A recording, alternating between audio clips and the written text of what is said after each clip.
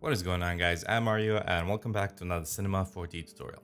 So this time we're going to take a look into creating some uh, cable cloth like shown in example here. And unfortunately th this was this is not going to be a narrated video so uh, simply because I have some uh, cough problems and it was just impossible for me to record or without uh, coughing in the microphone. So I hope you don't mind and I'm just going to show you quickly a few features that I'm using here. So uh, we have a cube and I'm gonna quickly make it editable and just to um, explain a few things. So we're gonna use a few shortcuts like KL will be for our loop selection and here we can add more loops.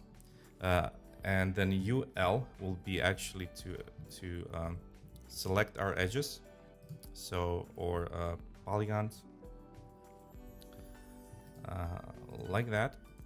And also one thing important to notice, uh, I also did, uh, so I didn't use so much shortcuts. I did mostly right clicks and pointing what I'm doing.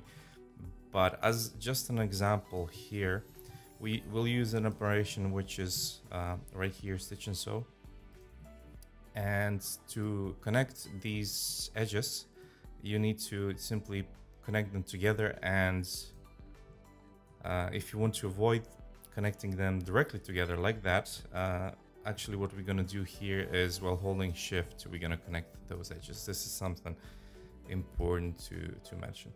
Um, I believe that is it uh, regarding two important shortcuts. Or oh, maybe one other thing that we're going to do here is uh, reversing normals so usually sometimes what can happen when you do this operation is I'm gonna again choose UL for selection and then go right click to reverse normals. And also just one quick note is for extrusion.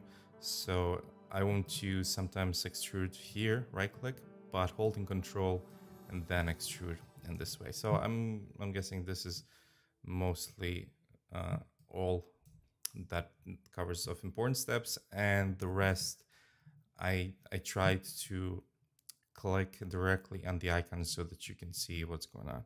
In case you have any questions or something is left unclear, please uh, leave a comment uh, down in the section below and I will try to answer all of them if I can.